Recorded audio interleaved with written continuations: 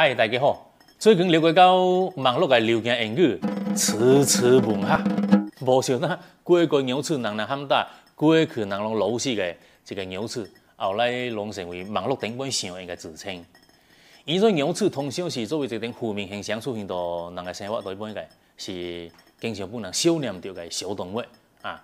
呃，牛词墨水名尖，不能一种唔正经嘅形象，所以呾诶，你描来描去，好像是爱做什么坏事。当一个人骂词词，好，能为他词归人上，诶，来指引，但一个人心狠畏缩，行为猥琐。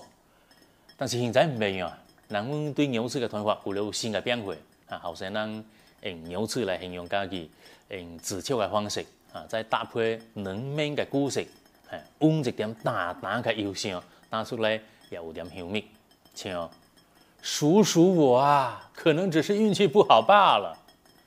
数数我啊，又认真看书去了。